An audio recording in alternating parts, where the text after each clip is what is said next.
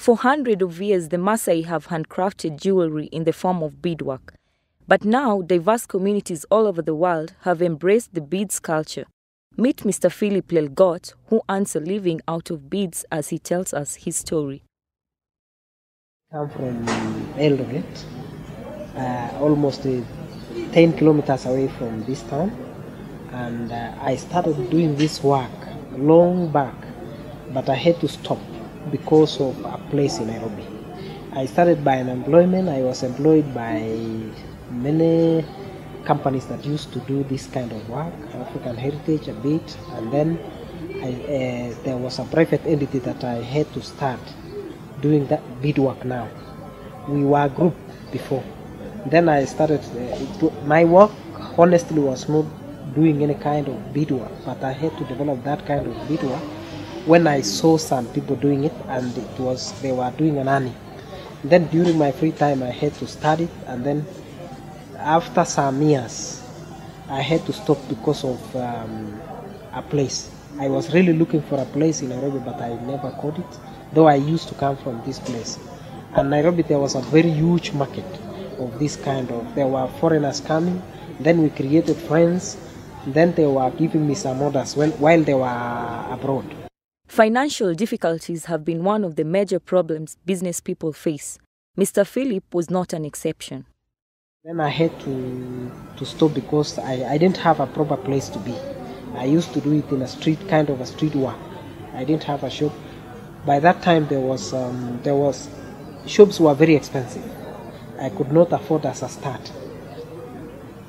So when I started doing this kind of work, it was just uh, in streets, and then I was having some contacts with some people outside and internally, and then I was ta- taking their orders. I started by doing belts, and then bracelets, and then uh, later I started doing uh, um, beadwork to clothes.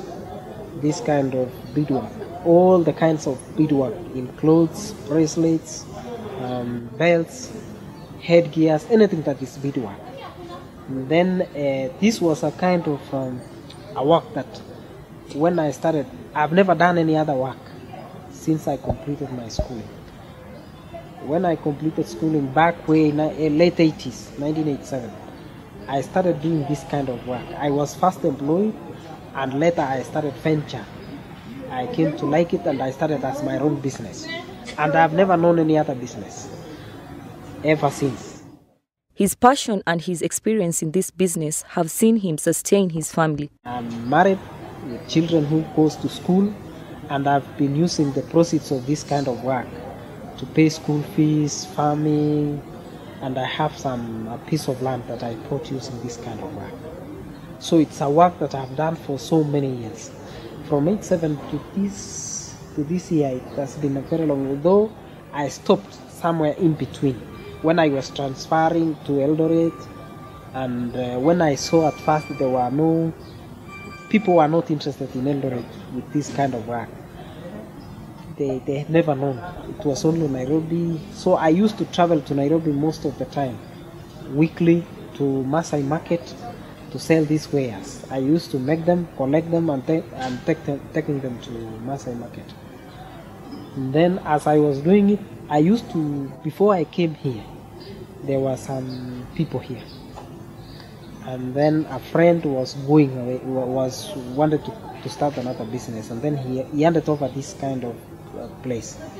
This place belongs to Chumi, but uh, they gave us this place. It belongs to Chumi. I now pay Chumi supermarket my rent. Every month I pay, and then I sell my wares here. As compared to Nairobi, Eldoret bead market is not as vast. This posing a great challenge for Philip and others in this business to acquire raw materials regionally. Hence, have to travel all the way to Nairobi. uh, I make some, I go to Nairobi to buy some, and uh, I get both uh, customers from here and then from outside. There are some people from outside, I have their contacts. I normally send some pictures of my wares through the WhatsApp and other means of doing, of, doing that business. So they give me some orders, I make them. There are some people, local tourism, I call local tourism, people who come to buy this kind of goods. They buy belts, they buy bracelets like the one I have right now. There are some orders I follow up. Despite the challenges he goes through in acquiring raw materials, Mr. Philip has developed his business contact not only locally but also internationally. Belt, it is mostly three to four days. If it is a bracelet, when I, it depends now. If I don't have a lot of work to do, if I've never been given a lot of uh, orders, it's a day. It, something like a bracelet is just a day, and some small small things. I also have a workshop at home where they make this kind of goods, this kind of milk goods, and some other things. I may be given an order which is a big order. Then I have to I have a workshop where I have employed two people plus my family. Sometimes we sit down with my family, we make them, I bring in the morning, I sell. So and that workshop has assisted me much because uh, sometimes I get a lot of orders. Even I have somebody who goes around selling these things and he comes in in the evening and he brings some orders from outside. I normally go to markets, different markets. Like for example, there is one in on Monday, there is another one on Tuesday, see what there is another one and another one. So I send. He sends this kind of beads and he collects some goods. And he collects some orders that we, we normally make. So on Monday again, he takes the, the, the ones that we make and he brings some some if he make it. Uh, and even here in town, there are some people who knows me and they come. Some call me as far as in Nairobi because I normally do collections. These call um, and these adverts, these traditional adverts, like stools, spears, arrows, and all these kind of the old now, the old things. I normally collect them to take them to Nairobi sometimes to say to be selling them on Masai Masai Market Day, which is on Tuesday. So I normally collect these old things, and then I take them, I sell them, and I buy some, I make some, and that has been business. But why did he quit his job for beads? I, I was employed, and later when I cre- I developed this kind of uh, artwork, this kind of beadwork, I saw it was paying more than my job. Because at times I could be given an order of maybe 5,000, 4,000, and I do maybe in a period of one week. So doing doing this kind of employment, when I was employed, I was strictly employed with uh, 7,000, and that was all. And I'm doing it from morning to evening, and the same work which I'm doing there is almost the same work is is less what I was doing as, as, as, as myself is more pay. At first, I was a salesperson.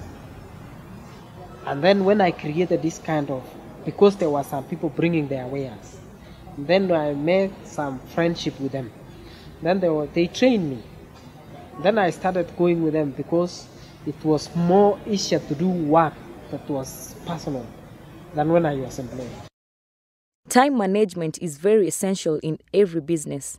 In this case, Mr. Philip, through his hard work, family support, and his employees' effort, is able to meet deadlines, hence run his business smoothly. I normally buy them from Nairobi. I buy them in bulk because I normally sell them also. I sell beads also here. So when I travel, uh, when I I buy them from Nairobi, there are some wholesalers, several of them in Nairobi, and they are a bit cheaper there.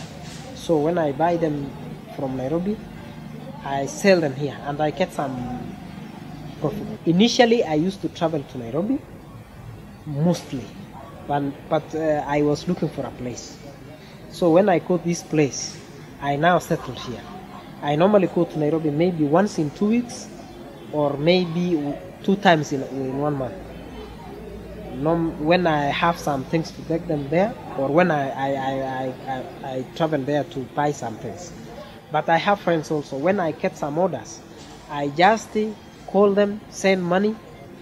I buy some specific things. They just put it in a matatu and then I receive them here. The beads industry is continuously increasing in Kenya and is being embraced by countries all over. Major buyers of beads are tourists, followed by local Asians. My target market is uh, almost, uh, I like the, the ones uh, in abroad. when these visitors, tourists, tourists from outside, there are some from America and all over the world, wherever they come to Eldoret, they don't miss coming here because this is most of the place that is selling this kind that we have this. Mr. Phillips' work cannot be underestimated as he can comfortably use his beads to make what you want according to your own taste and preference. Like they are, uh, they are uh, the flag of their countries, and the, that is it has been very, the business has been so good because wherever they come, they like Kenyan, but mostly they like Kenyan bracelets. That when they go to their place of origin, they, they say you are coming from Kenya and the flag of Kenya is this. So they order wherever they are here, they order their these bracelets, and they like the flag of Kenya. Mostly they like the flag of Kenya, and some like the U.S. flag. Every every country has a flag, and uh, the good thing about it, wherever they come and see Kenyan, they may say, okay, I like the Kenyan, the East African, and there is also the local tour, uh, the local tourism the, the, I mean these the people from around here. Normally they like some come for East African flag, they come from, and even the students. We I, there is no day that goes without me making this or giving some friends to assist me when I get a lot of work. He comes in, he wants a bracelet with his name or a belt or a headgear or those. They they really like it, and it has been business to me. What are the benefits of the beads business? Okay, this kind of uh, work is so good because um, since I started this kind of work, I've never liked to do anything else apart from this work. And uh, instead of wasting a lot of time, time doing nothing, it's a work that you can do anywhere. You can do in your house, you come and sell them here because I normally have some YouTube makes them. Even students from different institutions here. I have some customers who come and buy beads and they are they, they, they, they are telling me they are doing a lot of work even in their institutions because they make this kind of bracelets they sell to, to, their, to their friends and they sell even to they are making business instead of instead of waiting for their parents to send money i have students who are trained both from different institutions here. So when they are free, they normally come and buy beads. They go and make them. They bring them. I buy to sell. So in fact, instead of doing nothing or waiting to for money to be be sent by their parents from where they come from, some have known and they have liked it so much. And I challenge them that instead of wasting a lot of years doing some things, you can be doing them in, during your free time even during holiday, it, it assists a lot instead of waiting for, for just to be to be given. So I challenge them really, even those who have finished schools, even during holidays, instead of being free, you can engage in this kind of work. You can go to any country. Like for example, me, if I can be taken to any other country, I am I'll never go and be employed. I'll just look for where beats are and some things to do, because I, have some talent to do it myself. Mr. Philip enjoys profit from his business, but the income does vary from time to time due to various factors like tourism peak season to orders being made, among others. In terms of cash, it depends on a good day. There are some high time and low low period of making this business. Sometimes, if it is good, I can make some five bracelets or I, I can make something. Bracelets sometimes takes a lot of time, but that's no, it's not paying so much. But if I have uh, this de- decoration of clothes, it takes time, but it pays. Sometimes it ranges from maybe 2,000 to 3,000. Sometimes when it is good, but at times when I when I sell some wares orders, I mean, it can sometimes go up to 10,000. But sometimes you can stay for some days without selling. Per month, yeah, it's hard to say, but sometimes it goes up to maybe 20,000 a month to 30. But sometimes it is good, but some, uh, it depends on the season. There is a season that you can per week you can even sell 20,000. but there is a season that you can make a lot of money per week. Sometimes it is between October and up to February. Mostly that is good for local tourism, local people here, because they have the harvest and they like buying, they have a lot of occasions. But sometimes between April and uh, August, there are some people from outside. And sometimes I, I, I, I, take this kind of business to other places like Nairobi. So if it is the season of here, it depends on which. If it is a local tourism, it is good from October to November, eh, to, to, to, to February. But the other month now is low from local tourism, it's very low. The beads culture is fast growing in Kenya, but those in this business think there is still more the government can do to expand the beads business. The county government, okay, the county government should look for a place. This work is so good. And my real advice, and a very good advice to the government is, we have a, a, a culture. We have Ministry of Culture, uh, Tourism. They should look for a place. There are so many people who would want to venture into this work from this region, from this county, and they don't have a place to, to, to, to, to do this work. So I request the county government to at least look for a place. When we go to Nairobi, we have a place. When we go to Mombasa, we have a place. And various counties in, in Eastern, the county government has a location, a location where they, they, they, they collect, um, they, they, they look for a piece of land and they get people who are willing. Because right now I have a very big list of people who ask me if they can join me here. So if they can have a place, it is a source of employment to some other people who have this talent and they don't have anywhere to display. So I would really want the government and if they can do it urgently.